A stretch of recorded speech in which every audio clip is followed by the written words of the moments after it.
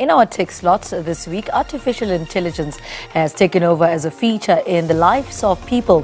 SiyaTutor is an artificial intelligence powered WhatsApp based tutor chatbot for learners in schools. It aims to reach academic goals with personalized step by step guide. It is the brainchild of brothers Siyanda and Siyabulela Ndlovu who join us in studio to tell us more about the groundbreaking system that is changing the face of education.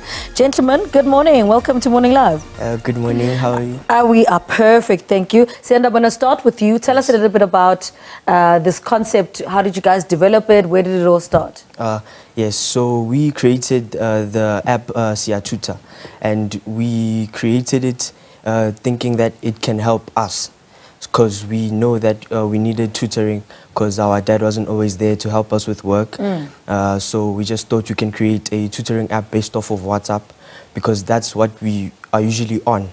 So we just thought we can create a tutoring app to help us on WhatsApp and we saw that it has potential to help other students in the country. Mm.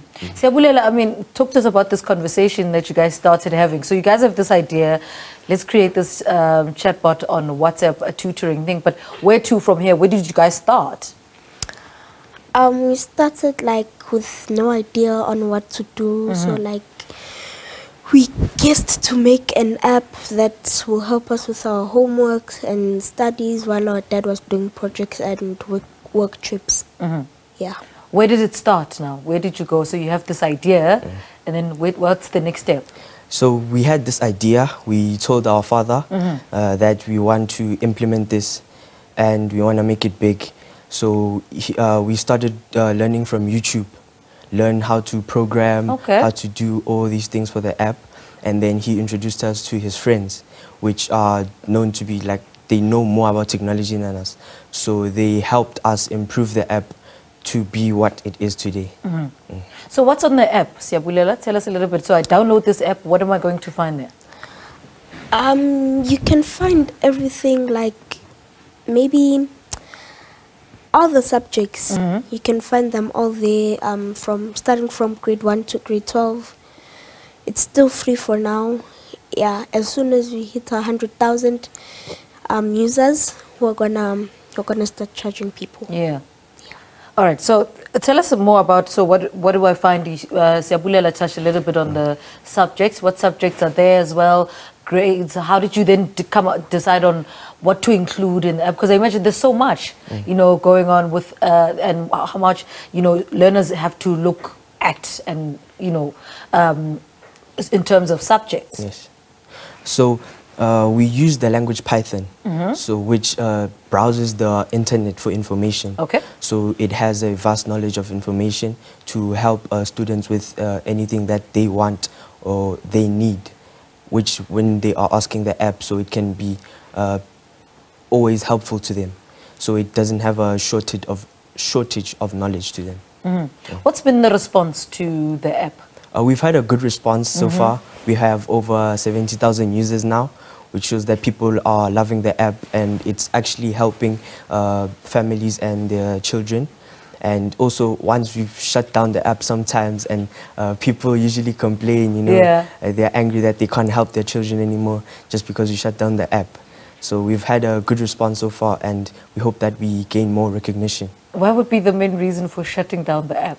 Well, mostly because uh, the expenses get too much. So Okay. the APIs, maintaining uh, the app, sometimes gets uh, too much for us. Mm-hmm. So we just have to shut it down for a bit to calm down the expenses. So yeah, Mm. that's what, why we shut down the app. Yeah.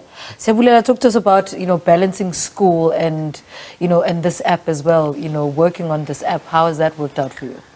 Um, so like we do our um, our homework at school, then we finish um finish it off at home. Then we start working on the project. Also on on weekends we work on the projects and to see if there are any bugs or anything wrong with the app. Yeah. And how do you balance out, you know, uh, kids nowadays are on social media a lot. They're on their phones a lot. How do you ensure that, you know, people, uh, your kids don't get distracted instead of just using this app to, you know, look for uh, schoolwork instead of just going into other social media? Well, because it's on WhatsApp. Yeah. So they, I know that uh, a lot of students use it a lot. Uh, they're always chatting with other people. They're always like getting into contact with people. So it's good that our app is also on WhatsApp, which gives them the feeling that they're also talking to some type of person. So it gives a sense of learning, which I don't think people will uh, leave to maybe go to other social media, but it, it just brings us like a humanoid type of feeling Yeah. to the app. Mhm. What improvements have you seen that need to happen from the moment you started to now, obviously with people using it? What are the improvements do you think you need to make to the app so that it works better? Uh, well, firstly, it's to uh, maybe what the, la, the prices we're thinking of, we can lower them Okay. for people maybe in the rural areas because they don't have access to tutors or people that can always be there for them. So we just want to the app to be more widespread and be cheaper for people who don't have access to all the fancy gadgets we have now. Mhm. And what subject are you seeing that most uh, children are need help with on, on, on the app? Uh, well, we don't really have that kind of information. Okay. We don't really uh, dive into that information for us. So we just uh, put the app out there and we just see the, the number of users and um, how they are using the app, but we don't see what they are using it for. Yeah. Exactly. Mm. Talk to us about. Um, you said you you want when you get to hundred k, then you know you'll start charging. So what are the numbers? What are the numbers looking like now? Um, right now, I'm uh, going to hit 80,000 users. Okay. and people are happy they like it they love it um, whenever like we shut it down people get angry i also use it Yeah. for my school grades and they really help me Mm. yeah What does your dad think of, of the app? I mean, you guys went to this idea with him, and then you know he saw it through. What is what do you, does he think of the of it now? he thinks like it was the best idea that he's ever made Yeah. and me and my brother made to create an app that will help us now we don't bother him like while he's on like While he's stuff. busy. yeah What's the long term plan for the app? What do you guys want to do? What or what do you want to see happen with your app? So we just want to see improvement from students. We know that uh, some students in other areas don't get the best amount of marks, and if like our app can help them um, improve their marks, uh, uh, that is going to help the economy, which the future. So we know that people are at the standard of where they can help the country. So our app is just to make sure that uh, South Africa as a whole uh, gains more knowledge, so that they can go to a greater level. Mhm.